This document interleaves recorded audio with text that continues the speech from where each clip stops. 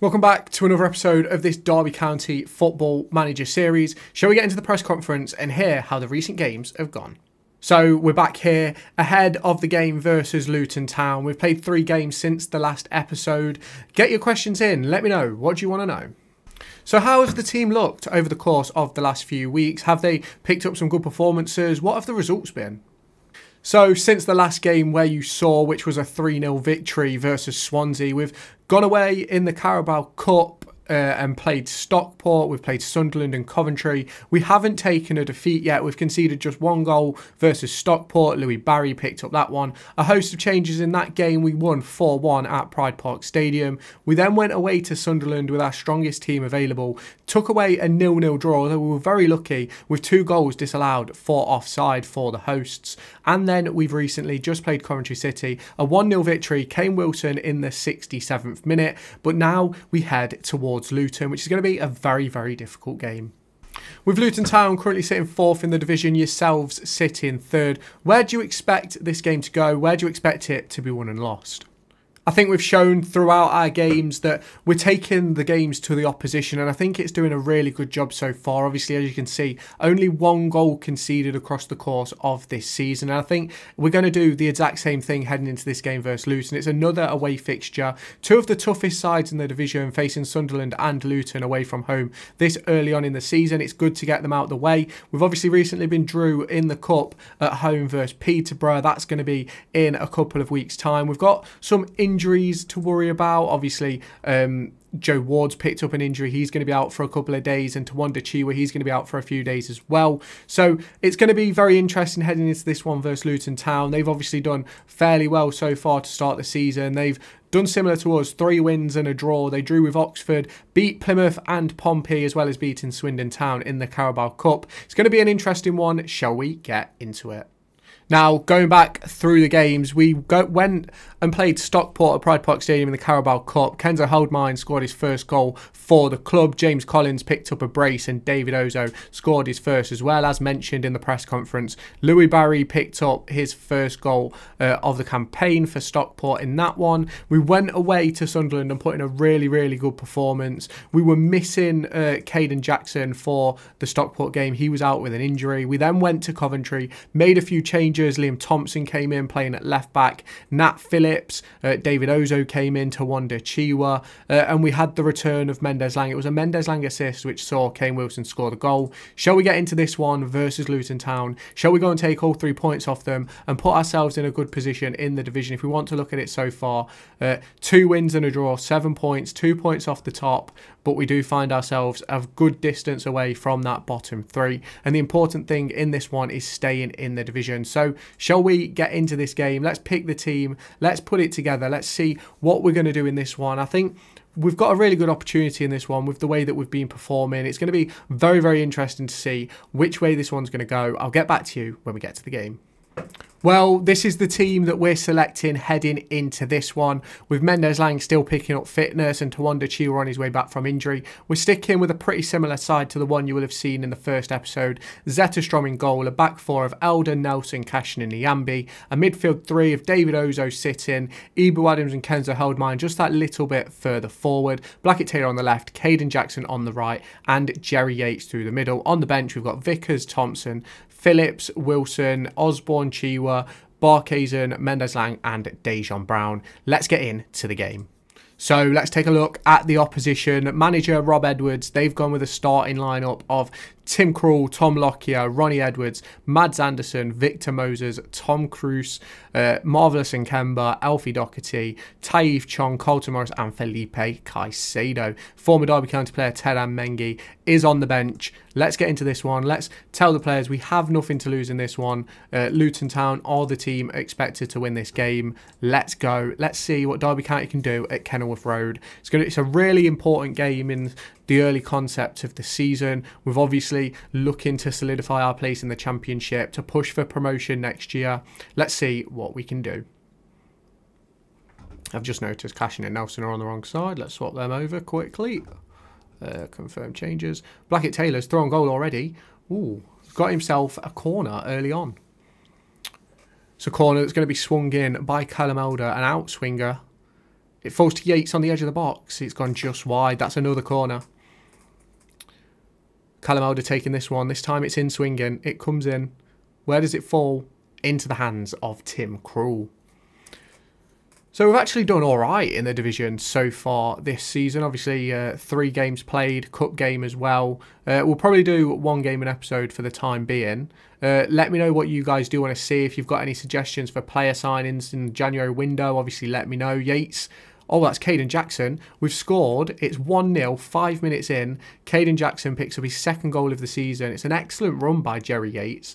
Look at him go down the line. We have absolutely done a football goal, and what a goal it is with Jerry Yates across the box. Tim Krul dives early. Kayden Jackson puts it away. So as I was saying, yeah, let me know what sort of players you think that I should look at signing in the January window. Uh, I don't know if I'm going to have any budget. At the moment, we've only got like 650 quid, which is from uh, Jake Rooney's loan fee. Uh, what's Callum Elder going to do here? It's an in-swinger. It falls to Yates on the edge of the box. He puts it back in. Good save by Tim Krul. And obviously, if you have not done so already, make sure you hit that subscribe button down below. Let me know what you think about the press conference type thing that I'm doing. I just it's just something that I wanted to try, see if you guys like it. Uh, something a little bit different from uh, the things I see with the Football Manager content creators that I watch. So obviously, let me know what you think. A lot of people have been asking on my main channel for me to do like a career mode series, whether it be on FIFA or Football Manager. Um, I don't even own FIFA, so I felt Football Manager was the best option. Uh, cleared away from the corner by Ryan Nyambe, Kayden Jackson on the counter where is it? Where is it? It's gone out of play. It's a, a, a mishit shot from, I think that was Ebou Adams. But yeah, so a lot of people have been asking for uh, career mode. So uh, this is the best we're going to do for now. Uh, I don't play FIFA. Haven't played FIFA for a while. Um, so we'll go with FM and see what happens with this one. Obviously, Kane Jackson breaking down that right-hand side, up against Elfie Doherty. It's across into the box. Blackett Taylor heads into the hands of Tim Krul. Now, Callum Elder back to Zetterstrom, finds Nelson. We've done really well with playing out from the back. Uh, Nyambe finds Kenzo. Kenzo back to Nyambe, Kenzo again. Kayden Jackson. He's going to cross the ball. No, he's not. It's Nyambe. Yates slots one in. That's his first goal of the season. It's a brilliant ball by Ryan Nyambe. I'm not quite sure what Tim Krul was doing there. Shall we just take another look at this? It's some really good play down the right-hand side by Nyambe, Jackson and Kenzo. And it's an excellent ball into the box. The defender mishits the header. Lockyer. Krul dives, expecting it to go to the other side. What a finish that is by Jerry Yates. Kenzo Goudmijn is on fire this season. So is the likes of Ryan Nyambe. We've had a really good start to the campaign at the minute. I think we're going to be sitting top of the division. But what are we going to do in the rest of this game? We're currently winning 2-0. What are we going to do here? It's Cashin now on the ball. Finds Ryan Nyambe out on the right-hand side. Nyambe, back to Nelson, back to Nyambe, back to Zetterstrom. Finds Cashin out on the left-hand side. Finds Ebou Adams. It's Callum Elder now. He finds it inside to Ebou. And it's, it's a counter-attack now. David Ozoh. It's Carlton Morris, that is 2 1. That's the first league goal we've conceded of the season. 30 minutes gone, 2 1. Derby County in the lead. It's a really good goal that from Carlton Morris. Oh, they're on the counter attack again. It's Victor Moses, finds Carlton Morris. Back to Moses. Cruz hits it wide of the post. That's a goal kick to Jakub Zetterstrom. We've actually done really well in this game. I feel like we're dominating the ball. I feel like we're dominating uh, everything to do with this game. Obviously, we're unlucky with that counter-attacking goal. Elder, Kenzo loses the ball in midfield. Tahith Chong. It's all over the place. The ball is all over the place. Kenzo gets the ball in the box and loses out. It's really interesting game this one. Uh, Luton not necessarily putting us under masses of pressure, but we're having lots of shooting opportunities. It's Victor Moses. He's gonna he's not gonna cross the ball in. It's cleared away from Corey Blackett Taylor. Tom Lockyer now finds a man in the middle. It's Kenzo Goudmijn, finds Kayden Jackson. Jackson finds Yates through the middle. Yates shoots wide of the post. Well, Hull City beating Stoke. Sheffield United beating West Brom. It's three minutes to the break now. QPR 2 0 up versus Sunderland. Let's go into the dressing room. We're doing well. We're getting lots of shots away. We look okay. We're just going to make a little tactical change. Obviously, we have hit early crosses on. We're going to turn that to work the ball into the box. I think that's what we should be doing. So let's get into the second half. We'll make some changes around probably um, the 60th minute mark, maybe. We'll see how the game's progressing. Obviously, if we're in a bit of a battle, we might need to go to a back three. Let's see what we do. We've obviously got the options on the bench with obviously Nat Phillips, Kane Wilson, Ben Osborne. We've got the opportunity to go to the back three if needs be. We can obviously bring on Dajaune Brown up front with um, Jerry Yates if we have to go to a two striker. We've given the ball away there. It's Carlton Morris. What are we playing at? What a goal by Carlton Morris. Read the play excellently. Kenzo gives the ball to Ebou. Blackett Taylor loses the ball on the halfway line. Erin Cashin just doesn't know what he's doing. Carlton Morris puts it past Jakub Zetterstrom, who is coming at his box to defend it. It's 2 2, 49 minutes gone. I think we may have to go a little bit more attacking in this one to get ourselves all three points. We're just going to let the game play on for a little bit now. Uh, Zetterstrom, what is he going to do? He hoofs it long loses the ball with Blackett Taylor in midfield. It's Tahith Chong now. It's going to be three. It is not. What a save by Zetterstrom. Nelson, Cashin. We're playing out from the back here. Elder. We've gone a little bit sloppy in the second half. I think I'm going to make some changes uh, around the 60th minute mark, as I initially suggested. Uh, Cashin and Zetterstrom playing about with it here. What is Zetterstrom going to do? He rolls the ball out to Curtis Nelson, finds Kenzo. Kenzo breaking at pace, finds Kayden Jackson, who puts the ball wide. It's Jerry Yates. It's gone in, but the offside flag is up. It's we're going to make some changes. Uh, we're going to just watch this replay and then we'll make some changes. Jackson, Jerry Yates is about a mile offside. It's a good finish, it's a good bit of play, but it's time for a change. What are we going to do with this team? We're going to go to a number 10. We're going to go two across the middle. We'll put Ebou as the ball winning midfielder. We'll put um, Ozoh as a deep line playmaker. We're going to drop no, we're going to keep it like this for now. We are going to make a change. We're going to bring in Mendez-Laing for Corey Blackett-Taylor. And we're going to bring in Kane Wilson for Ryan Nyambe. We're going to put him on complete wing back. And we're going to drop Callum Elder to a fullback on support. Just to give a little bit more cover in that back four area we're going to keep the rest as it is. Uh, we might make some changes a little bit later on, end up going to two strikers, but let's see. Uh, let's click play. Let's see what's going to happen in the rest of this game. Obviously, it's been a very even game. I think we've created the better chances, but they've taken their chances as well. Carlton Morris with both goals for them. 60 minutes played. Uh, Ebou Adams, David Ozoh, Callum Elder out on the left hand side, beats his man, beats his man again, cross into the box, it's cleared. Kane Wilson now on the edge, he squares it across. It's blocked. Ebou Adams, David Ozoh. What are we going to do here? Ozoh gives the ball away in midfield. I can't lie. If he does that again, he is going to be taken off. Uh, throws the ball long. It's Callum Elder again. Switch of play. Kayden Jackson loses the ball. It's Doherty. It's Nelson clearing the ball. It's this is a very difficult game to call. It's going to be three there. No, it's not. What an excellent save by Zetterstrom. I think that was Odubajo who could have put that into the back of the net. It's a great save again from Zetterstrom. It's a goal kick. It is not a save. I absolutely lied to you. We're going to change up the system. We're going to go uh, 3 4 3. Keep your eyes peeled. This is what we're going to do. We're going to. Uh, let's move Callum Elder up the pitch. Let's move Kane Wilson up the pitch. Let's pull Ebou Adams into the midfield. Let's swap those over. Let's go ball winning midfielder on the left. Let's go uh, advanced playmaker attack on the right. We're going to go with two inside forwards. We're really going to go for the win in this game. I think it's there for us. Uh, ball winning playmaker on cover. Uh, ball winning playmaker on defend. Let's get Nat Phillips in. Um, let's get uh, Tom Barkhuizen in. Let's get who else we're going to bring into the team. Let's bring in Tawanda Chiwa. Let's make that a DLP on support. Now we'll DLP on defend, and we'll go uh, on attack. Let's see if this team can go and get us all three points. I've got faith in the boys. I think that we can do it. We've got 20 minutes now uh, with this change of system. Let's see if we can bring home all three points. It'll be a second draw in the league campaign if we only come home with one. I think we needed to make the change to get some players closer to Jerry Yates. Cashin finds the ball out to Kane Wilson. Tom Barkhuizen now. He plays it across. It's blocked. It's Callum Elder. Shoots. Goalkeeper saves. What a save by Tim Krul. Are we going to be able to get all three points?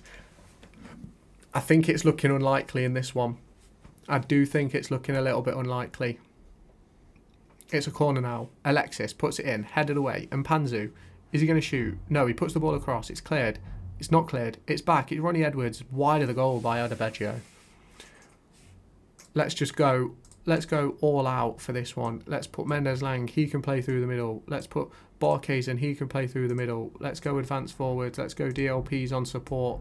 Let's get to Wanda Chiwa in that number 10 role. Let's move Callum Elder up the pitch. Let's move um, Kane Wilson up the pitch. You're probably going to think this is a very stupid decision, and it probably is.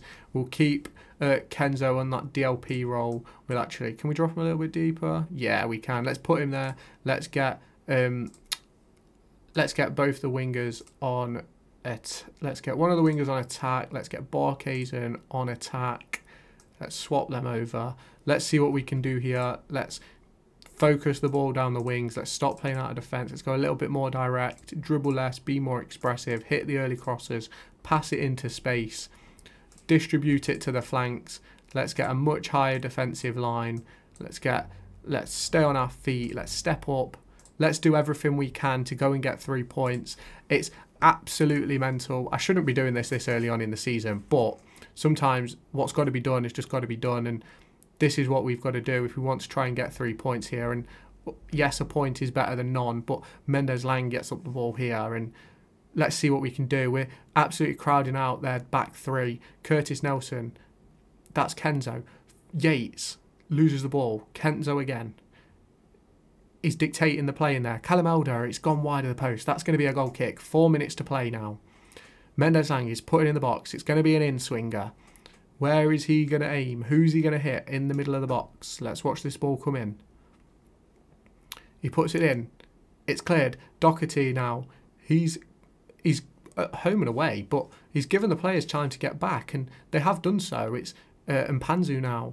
Harris on the left hand side. It's across. Adebayo going for the three points has cost us three points here.